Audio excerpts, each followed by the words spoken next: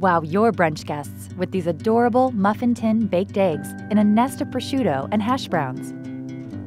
Put six cups thawed frozen shredded hash browns in a clean kitchen towel.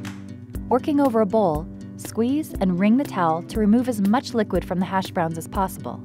Transfer to a large bowl.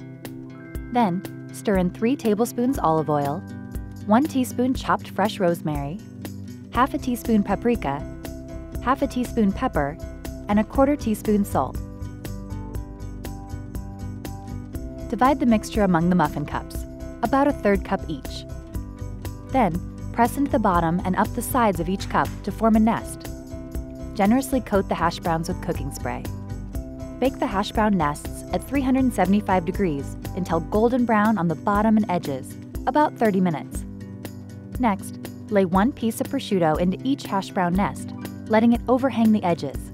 One at a time, crack an egg into a small bowl and pour it into a nest. It's okay if some of the egg white spills over. Bake 10 to 15 minutes for medium set eggs, or 15 to 18 minutes for hard set. Rotate the pan from front to back halfway through. Let cool in the pan for 5 minutes.